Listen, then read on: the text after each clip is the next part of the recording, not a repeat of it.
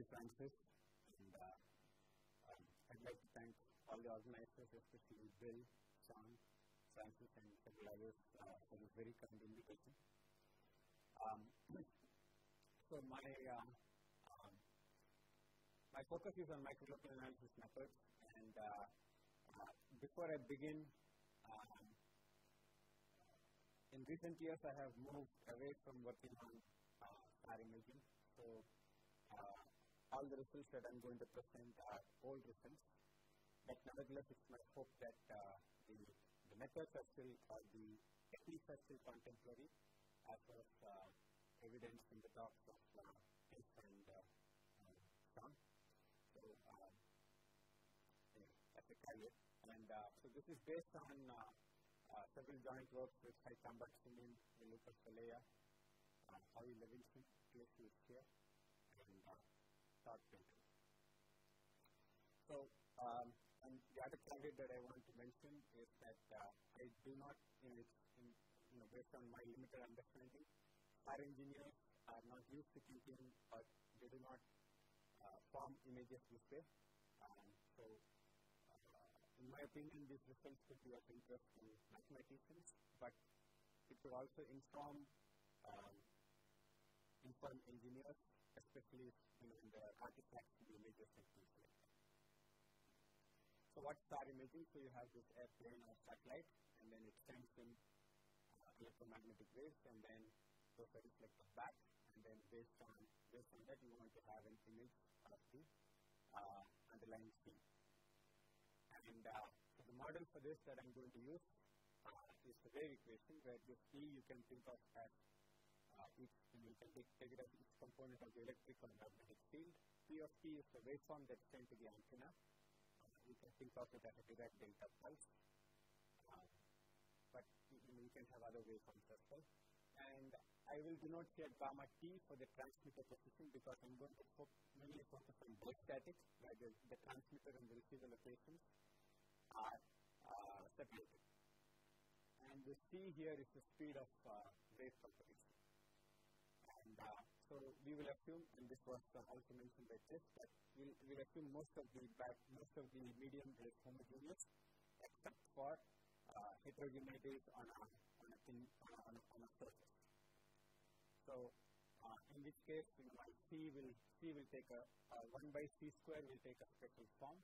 So with that in mind, let me mention the, the free space Green's function, where this C here is the speed of light, and uh, in, in this case, the, the free space Green's function is this. And uh, using this, you can actually find out solution to this uh, based on convolution. Convolution in both space and time. So the incoming wave field, because in this case I'm assuming that it is a homogeneous medium, so I'll use the free space Green's function, G, and then the incoming wave field is going to be given by the convolution of the Green's function with the, uh, the source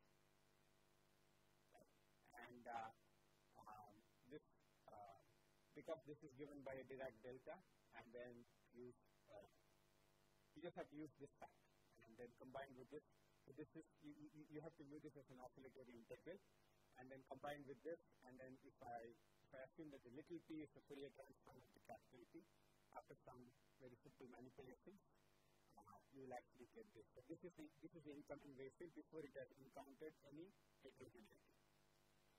And uh, this E here is the total wave field in the medium. That is, it is taking into account the um, the, the, the, the, incoming and after you know, multiple reflections, everything put together. That's the incoming. So that's the total wave field in the medium, and that's going to satisfy this particular uh, this particular equation. So now, what we will assume is that my background is mostly homogeneous. So therefore, there is a slight perturbation over here. There is a perturbation over here which is the tilde and I'm going to view my 1 over c square as a perturbation from the background uh, constant, uh, constant speed medium. And uh, I'll also split this up, the total wave field as the incoming plus the scattered. The scattered could take into account uh, you know, multiple scattering, you know, everything is taken into account. And uh, so if you just plug these back into this particular equation, uh, this P also into this particular equation, so you get something like this. something like this. And uh, this part over here, that is Laplace, the wave applied on E in is exactly this part over here. So this and this, they cancel each other. And what we get is the Lippmann-Schwinger equation. So this is uh, the E scattered satisfies this particular equation. Laplace, that is a wave, uh, minus wave, and then you have E scattered is equal to V tilde. The V tilde is the one that, you know, that this is what we do, do not know. And this E here, so notice that this E on the right hand side also incorporates this E scattered. So this is actually a very highly nonlinear equation. So it's not very clear how, to actually solve this.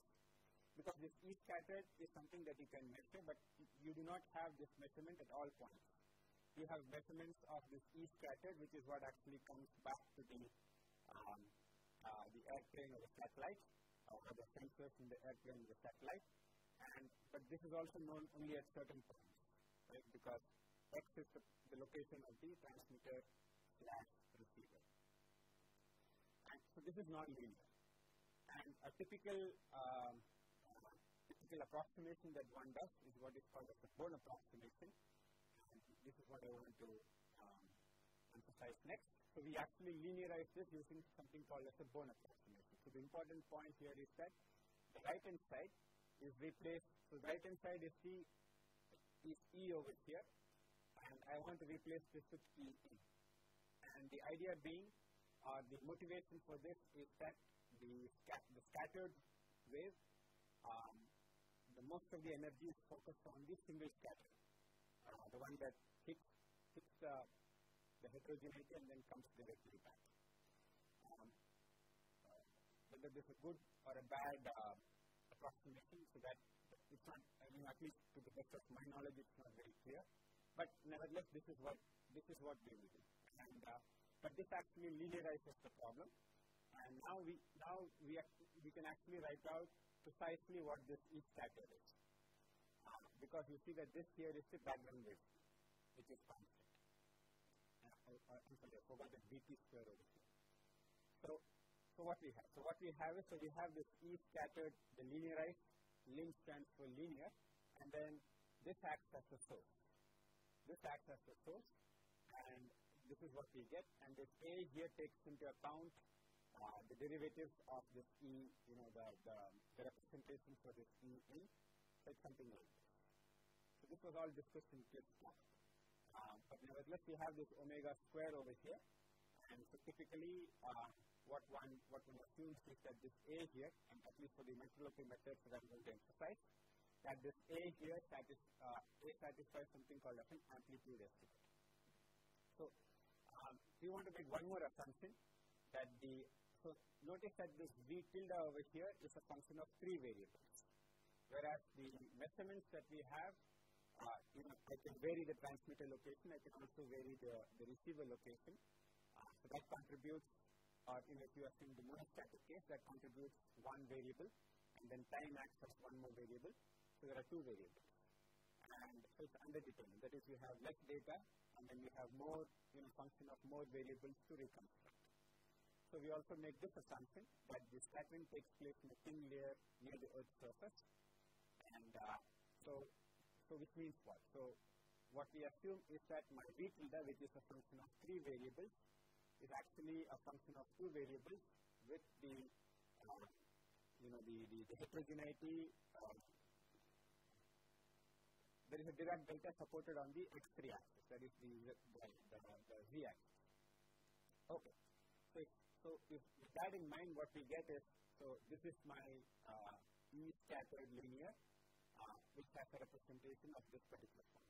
And you see that this part over here, this is the total travel time, because this is divided by C naught. So this is the, the distance from the, uh, let's say the transmitter location to a particular point plus the distance from that same point to the receiver location divided by C naught. So this is kind of like the time delay. And this A here, um, A, uh, I'll assume, uh, we'll, we'll, we'll assume that this A satisfies an amplitude.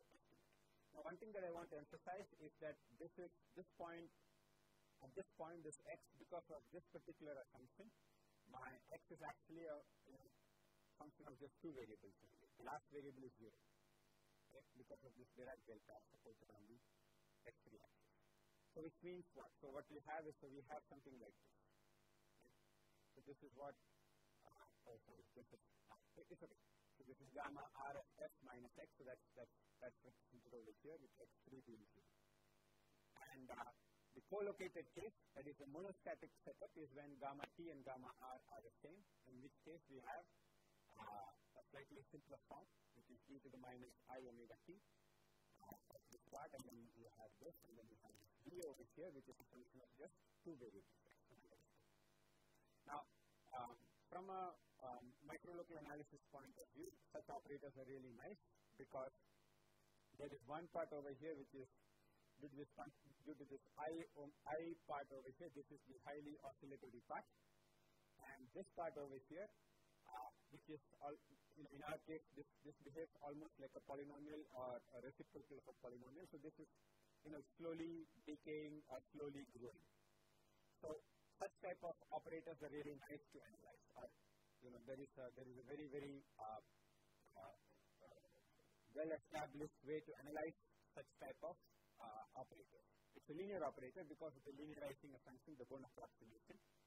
Uh, but uh, so we will we will actually analyze this, and I will analyze this for um, uh, this uh, specific geometries of this curve gamma, and things can get things can get pretty complicated pretty soon uh, because the geometry of this uh, decides everything as far as the two singularities, the artifact singularities.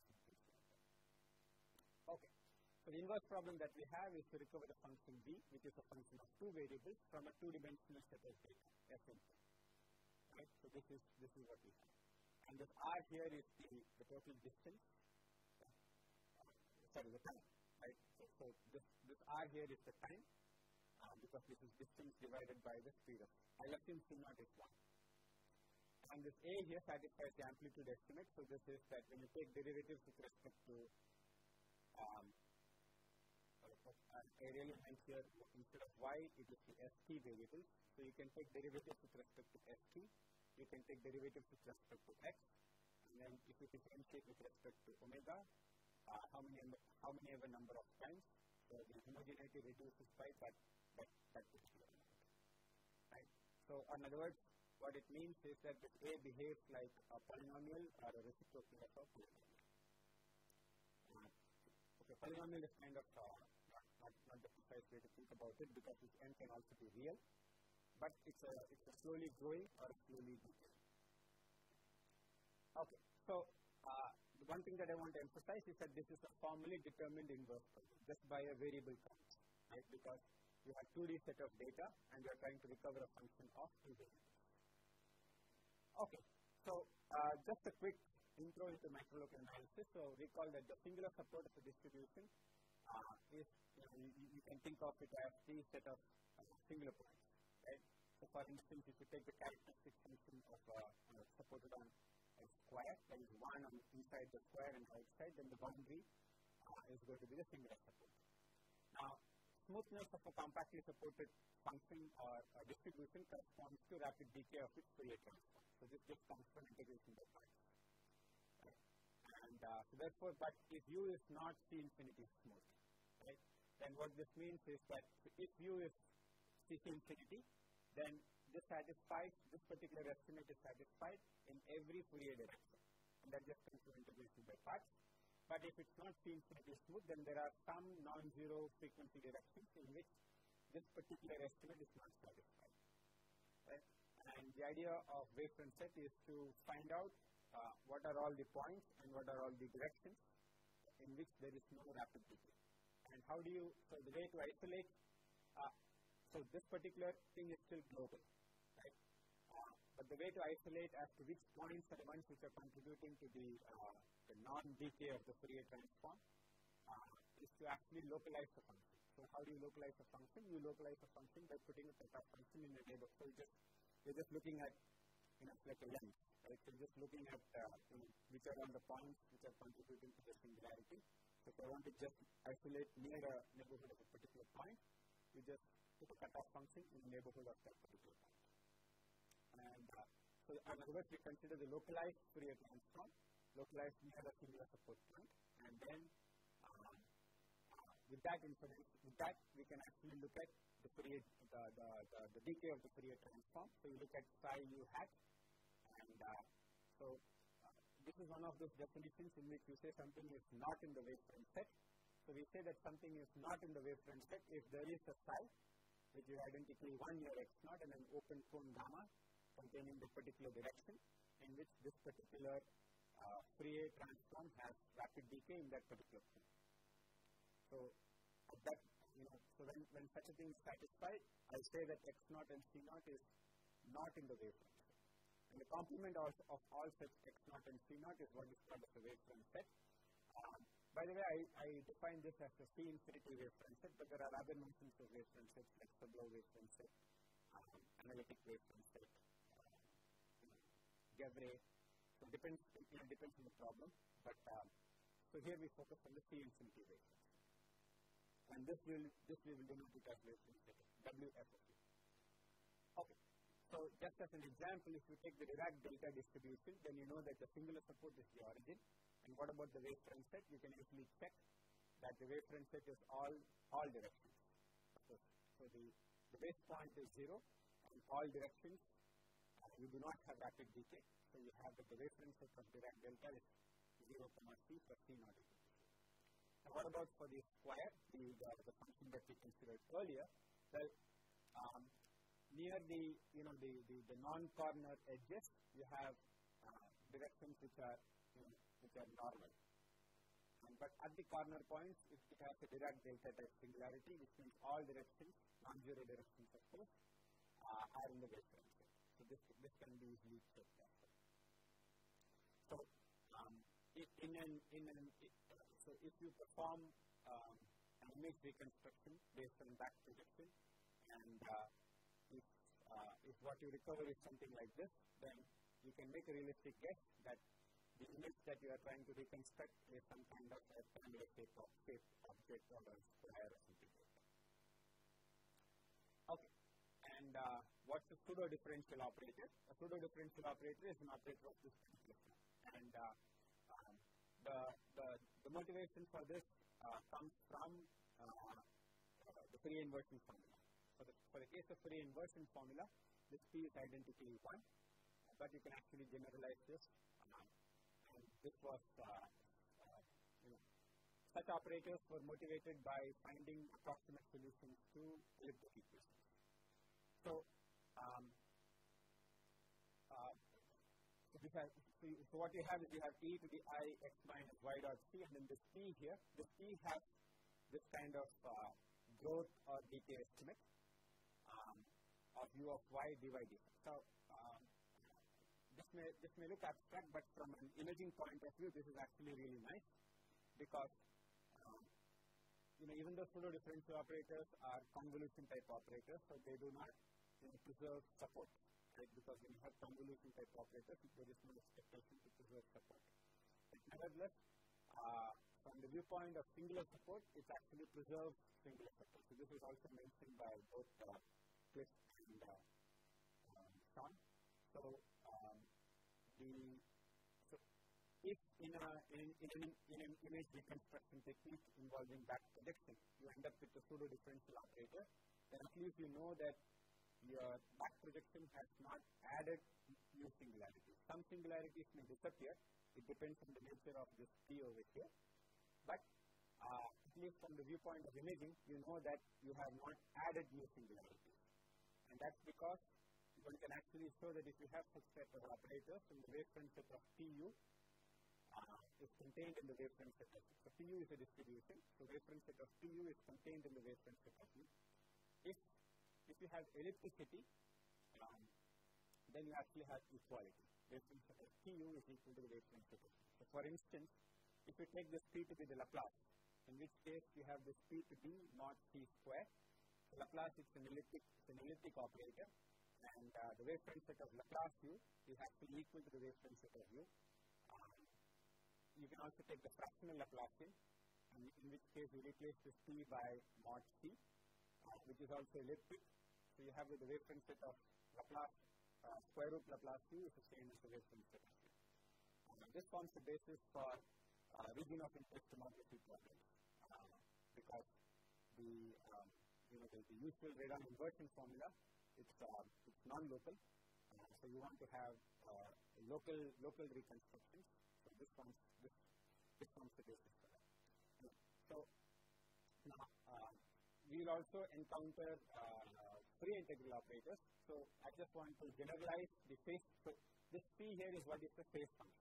Which in this case is x minus y dot c uh, so you, you see that this is the highly oscillatory part. This is the the, the kind of the slowly growing or the slowly decaying part. And uh, so we want to generalize this this part over here this x minus y dot c. To something more general and that's that's what leads to uh, what is called the phase function. So it's, it's, very important that this is real valued, otherwise there can be growth. But here the absolute value is equal to one of e to the ic. So C is positively homogeneous of degree one in C. That is, it, it satisfies this. Yes, this is a definition. And uh, uh, these gradients do not vanish uh, simultaneously. So this is a technical condition required for the fact that uh, some zero six are submanifolds, are embedded that they, they, they do not degenerate or they do not have and So it's a technical, assumption. But the point here is that the x and y over here can be different open right? In the case of pseudo differential operators, that they are the same. It's the same. It's the same set. X cross x cross. That is, you have x minus y dot c. And uh, the the fundamental difference, at least from an imaging point of view, uh, is that um, Fourier integral operators can, you know, can propagate singularities, right? Because one, you know, these two belong to two different spaces. And uh, um, our goal is to see how the, um, the, uh, uh, the linear operator that comes up after, uh, after the Born approximation, how it actually propagates the singularities in the image, in the actual, in the actual image, the data, and when you back project it, uh, how the singularities from the data come back into the scene. So ideally, what you would like is that when you do this, when you do this forward and then the back projection, uh, then the singularities of the scene are faithfully reconstructed. Maybe that is too much to expect, but um, at the very least, new singularities are not created.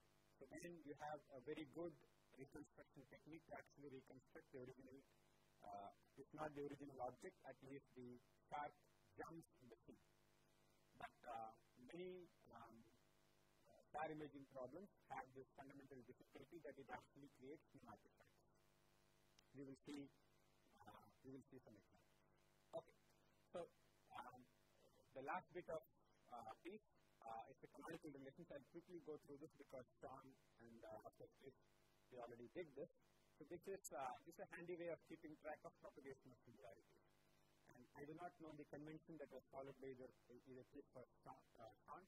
So uh, what this means, so the convention that I will use is that the singularity from y in this particular direction is propagated to the point x, and then in the direction the gradient the gradient of with. And the zero set uh, is what is actually crucial uh, in the in, in, the analysis of such type of operators because outside of outside of uh, uh, the outside of this critical set, this critical set over here, um, the the operators are really nice. They're actually smooth. That it, it uh, it spits out uh, infinity functions. So the, the critical set is all that is important important for uh, important in, in the analysis of such type of operators. And outside of it, I don't care. So um, if F is an FIO, then F star is an FIO as well, and there is a reason why we actually have this F star because F star is a back projection operator. And uh, the canonical relation for this, it just comes from the, just the L2 adjoint. So these positions are switched, are swapped. That's it. So x dxt comes, comes as here, and then y comma minus dyc comes as here, and then subject to the same condition. So what this tells you is that the singularity from x in this particular direction has gone to the point y in the direction minus dy. So now, uh, let's say uh, we have an imaging problem, and then we look at F star F, right? F composed with its back projection. Now, in an ideal world, what, what we would like to have is that y comma minus dy c propagates to a bunch of points. Could also be several, um, or it could be countable and countable, we don't know. It, it, it just uh, propagates to a bunch of points, but when you do the back projection, all of them propagate, all of them back propagate back to the original point. But uh, this is not how, what happens in practice. I have a very simple example uh, in Sarin. Okay. Now, uh, composition of two sideos. Cheating here a little bit. I need to make it properly separated, but it's a technical assumption. So, composition of two sideos is a sideo. And, uh, but it's well known that the composition of two FIOs is not an FIO. And the example that I'm going to show you will validate this. And uh, so we are interested in the composition of two FIOs because the, the forward operator that we get in SAR imaging is an FIO. And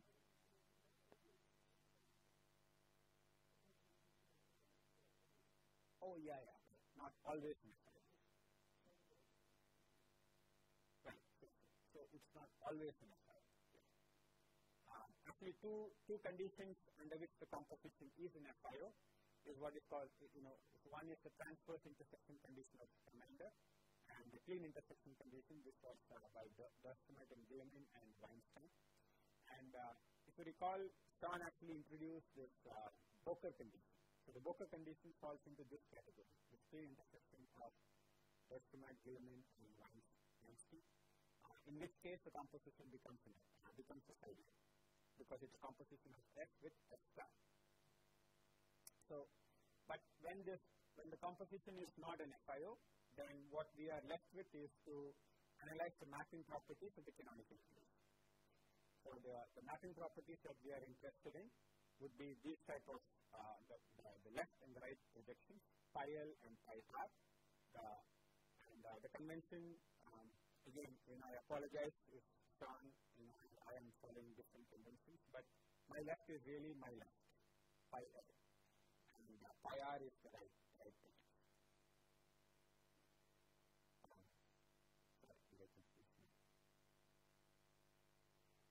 Kyle is mine. Uh, yes. So, uh, in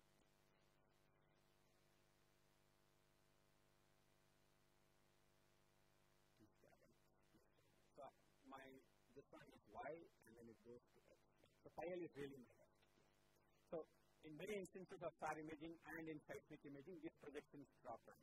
So one thing that so this T and this T star Y, these are of the same dimensions. But this pile, so for instance, one instance in which it, it is a, it is a sideo is when this pile uh, is a local diffeomorphism. So if pile is local diffeomorphism, then you can actually, you also have that pi r is a local diffeomorphism. But uh, in many instances of SAR imaging, this is not a local diffeomorphism. So when this is not a local diffeomorphism, then of course, you know, the, the determinant actually is equal to zero on a certain set and uh, uh, then then it then it uh, you know the, the, the usual technique is to analyze what is the nature in which it drops rank, and the ones that are probably the simplest to analyze are the ones in which it drops rank simply by one. That is, it, it just drops rank just one, just one less. And the nature in which they drop rank will determine the composition calculus of X with X star. Now, in seismic imaging, this is mainly caused due to caustics in the background, uh, whereas in SAR, you know, there, are, you know, there, there is no background, there is no caustics in the background. But in this case, in the case of SAR, this is caused due to formally determined data. That is, it's because it's formally determined in those problems. If it becomes overdetermined, then some resolution of, uh, you know, some, some uh, resolution is possible, but when it's a formally determined inverse problem, that is, you have equal number of variables, uh, function of variables that you want to reconstruct, and then equal number of variables of data that you have, then this is what causes um, the, the, projection map to drop right. Okay, and uh, so this is a useful piece. So this this was also introduced by Cliff. These, are the IPL flashes. So um, and we will we will actually see a lot of this in our uh, in, in, in, in, in, in our context. That uh, so what we have is that in, in, in, in many cases we have that the composition of S, which is the forward operator in start with the L2 adjoint uh, as wavefront set contained in, contained in let's say a single Lagrangian, in which case it would be the diagonal Lagrangian, uh, in which case it would be a pseudo differential operator, or it's in the union of a bunch of sets. And uh, we will see an example in which there are four sets. All of you know pairwise they are intersecting in a So you have an IPL class, and IPL class is you know the uh, IPL class is defined as follows. You have so, so we say that U is an IPL if you have um, all first order pseudo differential operators with principal symbols vanishing on this union of these Lagrangians, you have this particular um, property. That is given this R can be any number, P1 P to PR of U belongs to H S for some S. Okay. Now, um, let's see some examples. Uh, so what we have is this. So we are, as, as I told you, we are mostly interested in C transpose composed with C. And uh, this was introduced by Sean as well. So we have the C transpose C is we just pick up pick up uh, these and these subject to equality of this and equality of this. Because this is just composition as relations. Because this could be two to one, many to one map. So this is composition as relations. Okay. So let's see one is one simple example. So consider the monostatic SAR setup in which case in, in, in, in which the trajectory is actually spectral. So it's, it, it, it is going over the x-axis, S0 and H, H is fixed. And this was first considered by uh, and Cheney. Uh, they also consider several other, several other cases, but uh, this is uh, quite easy to understand. So in, the, in, this case, the phase function is as follows. So, so this is, I'm assuming C naught is equal to 1. This is the total travel time. So this is a time delay. So this is what we have. And then if you look at the canonical relation, the canonical relation comes by just taking the gradient with respect to s and t and the gradient with respect to x, and this is what we. So now, let's, so we are interested in the composition of this with its L2 adjoint. So we, we look at the C, C transpose composed with C. So C transpose, as I told you, it just comes from swapping, uh, swapping these these index to here and these, all these things into here. So when I do that, this is what I get for C transpose. So now let me look at C transpose composed with C and you will see that this is not actually a, a. So why is that? Because if you if you look at C transpose composed with C, then subject to these conditions, right, so this is what we get. So we get S tilde is equal to S, which means it has to be the same point. Uh, the, the, transmitter and the receiver has to be at the same point. Mon monostatic classifier. And the times are the same. And these are the, um, the, um, the uh, some scalar quantities. So what, uh, it's a simple computation, but what it forces is the following. So you get these two equations. And this has a very geometric interpretation. But without geometry, if I just go through the blind process of using these two equations, uh, I will get that x1 is equal to y1 from here because this and these are the same. So I get x1 is equal to y1. And then I substitute this back into this particular equation. So I get that x2 is equal to plus or minus y2. So what this tells you is that from uh, uh, this is the uh, you know the, the one that is most encountered the, the, the left hand ambiguity in SAR imaging when you have uh, without beam forming. That is, if you have something in which the the scene is radiated regardless, you know, so in, instead of some spotlight kind of SAR, if you have something in which it's, it's, it's beaming everywhere, uh, this is the left side ambiguity uh, that you will actually find. So you will not be able to resolve the true singularities or the true scene from the artifacts.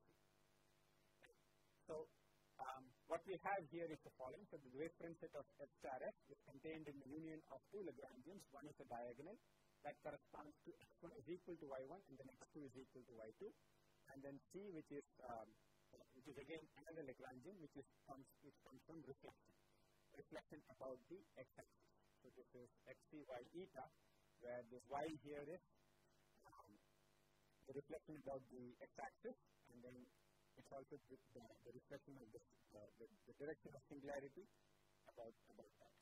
So, uh, but you know the thing is, uh, it's actually quite easy to see. So this, this is this the the, the, the flight path above above the ground, and then what this tells you is the following that um, the, if you look at this particular equation, so if you have a singularity over here, right, this particular equation tells you that y has to be on the same circle corresponding to, you know, um, uh, the, the point gamma, so, so, so whatever is the, the, the, whatever is the point gamma of s, uh, and then so what it tells you is that it has to be in the same sphere, but sphere intersected with the ground, so it's a circle, right?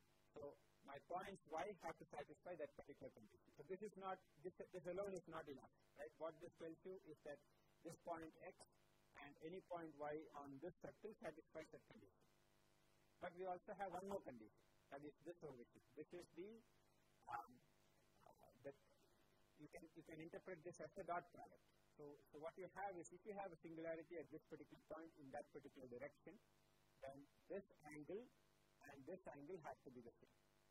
So that forces that if you have a particular point x over here, that goes to y, which is a reflection. And then the singularity in that particular direction goes to this particular direction, eta, which is again reflected about the x-axis. So this is what this particular equation is telling us. And this is to be expected because uh, if you look at uh, if you look at the um, if you look at this particular equation, I told you that the critical set is what is uh, is what is uh, is what is playing a role. So the critical set is actually a sphere. P is equal to two mod of x minus gamma of right? And uh, that sphere intersected with the ground. So that is what is that, that is what is playing a role?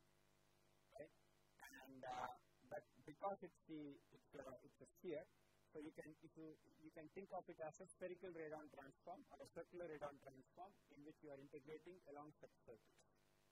And if you have like, if you have an odd function, an odd function always integrates to zero. So just because an, an integral is equal to zero does not imply that the function is uniquely determined. Odd functions are always in the kernel.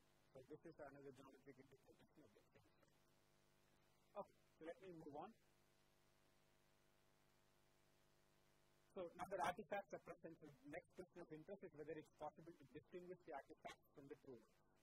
And uh, so we want to investigate if the artifacts of lesser strength uh, are of lesser strength in comparison to the true singularity. So this happens in some instances in, in, the context of uh, uh, seismic imaging, but it almost never, never really happens in the context of SAR imaging. So the true singularities and the artifact singularities are of the same strength. Uh, so let me give, let me give you one more one more example. Uh, so, so, what we do is we consider a circular geometry. So we consider a circular geometry, and then we go through the same process. And this is again an example from Nolan Cheney.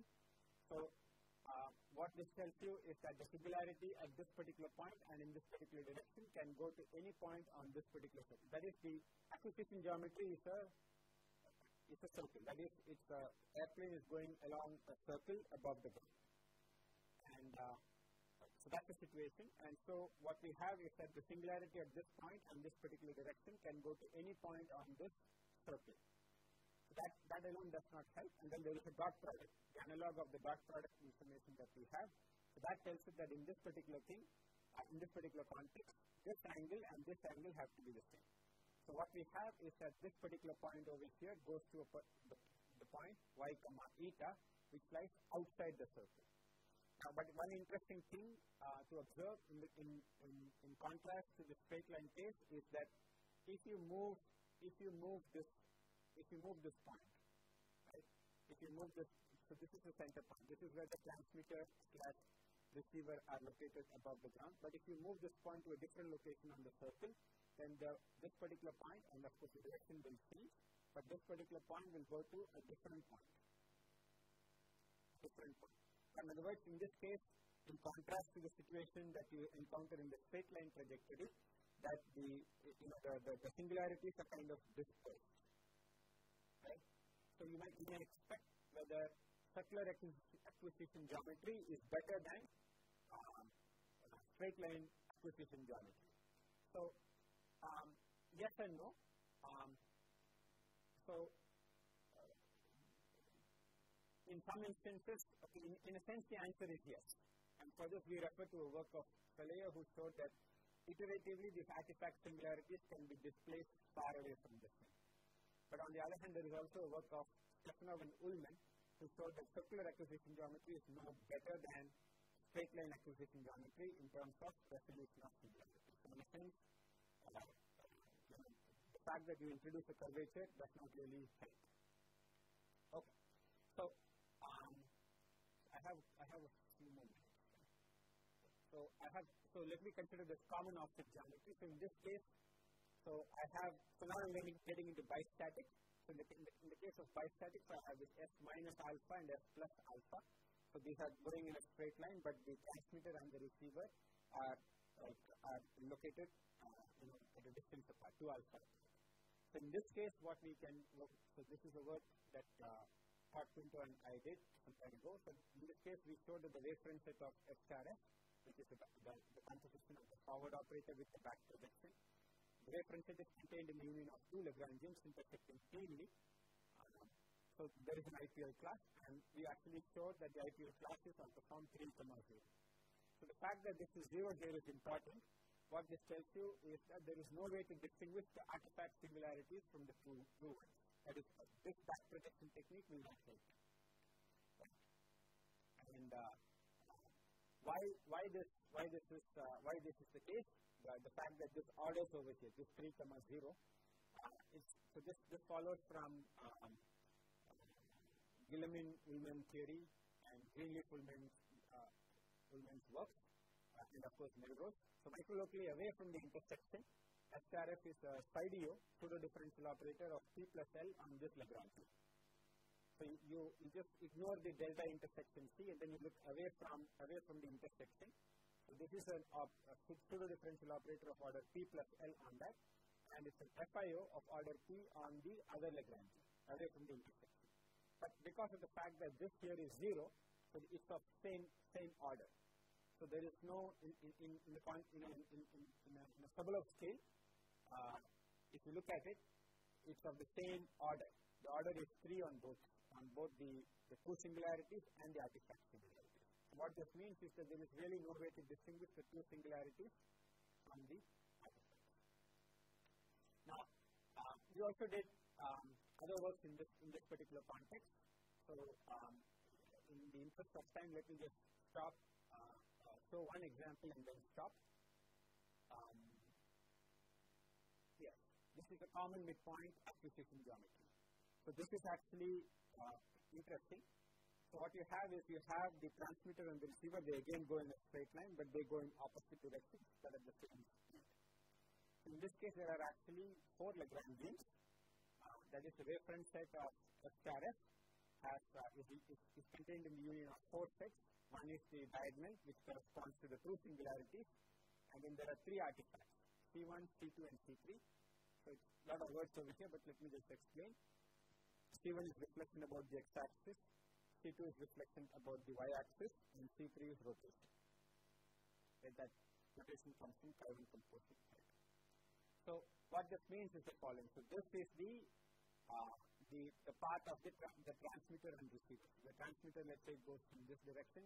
The receiver goes in this particular direction, but at the same speed. The same speed is crucial uh, because that's what actually generates this four singularities.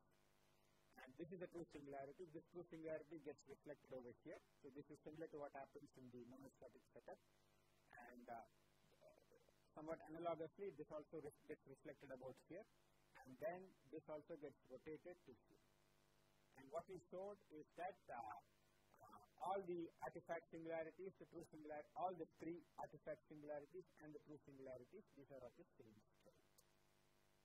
So from, a, uh, from an imaging point of view, it's a negative result in the sense that there is no way to distinguish the two singularities from the artifact singularities. And we discussed uh, in a follow-up paper, we discussed other other aspects as well, but uh, uh, in the interest of time, let me stop here. So what we showed is this. That you see that the fact that this is zero, that tells you that on diagonal and on the reflected artifact, they are of the same strength. True over here as well, the true over here. So there is no way to distinguish the true from the artifact. And um, so we considered uh, other examples, again with straight line trajectories with different speeds